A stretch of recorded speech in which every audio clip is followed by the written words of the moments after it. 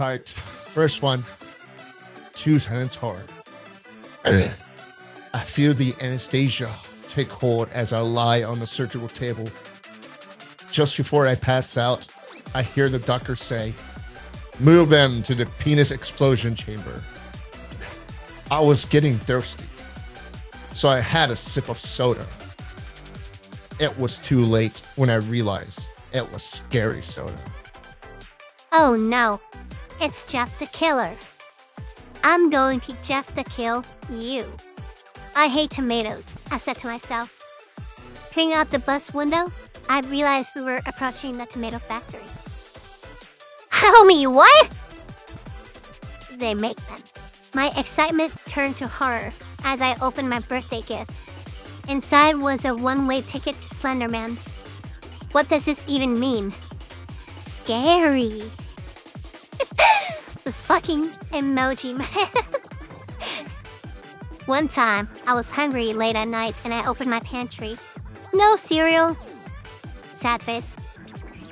Yeah, you know, I think having no food is pretty scary myself. It almost feels like Christmas, except I've got no eggnog. Thankfully, I can just milk some more for my creature. The family enjoys their milk at the table. Little do they know it was harvested from my creature. I ran out of ketchup, so I went down to the basement. The creature whimpered. He knows it's time for another milk. He knows it's time for another milking session. Hey, chef, I called into the kitchen. My meal began being prepared by a creature. my girlfriend wiped the tears from my eyes with a tissue. Little did she know the tears came from the creature I have in the basement. As I fell on my bed, I wanted to cry and seek help. Thankfully, my creature has a PhD in psychology. He kept complaining about the food at the five star restaurant, but it tasted great to me. I guess the stomach rats agreed. what the fuck is this like fascination with the creature? And it's not just like specified, they just call it the creature. Like we're supposed to know right off the bat, like, yeah, you know, it's a creature, right? Like, what the fuck? Wait, one more. And that swears if it's another creature one. Ah, finally, I'm all alone, I said to myself as I sat in my bedroom at midnight. No, you're not, said Knife Guy. I was playing with my boobs. No, you're not, said Knife Guy. Then a brick fell on my cock. so we have the return of fucking Knife Guy with the same misspelling. What the fuck? Wakes up with a new vagina.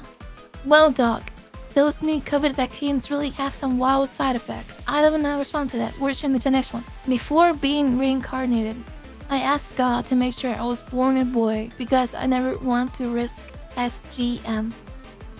Now I'm two days old. I'm shut down on a cold board and a man is moving towards my genitals with a scalpel because my parents are religious. I want my foreskin back. no foreskin guy. That's fucking wild. Okay. The puppy was hungry, but there were no more tasty life forms left in this multiverse. This place has 31 flavors. Gold.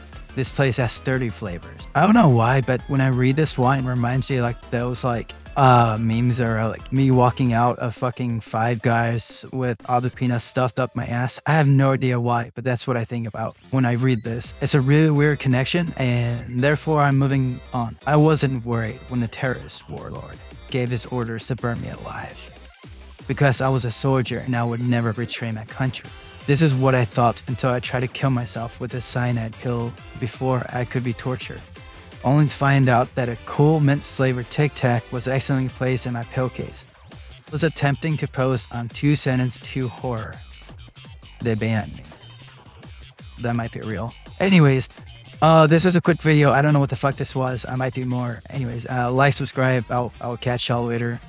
Uh, yeah, uh, goodbye.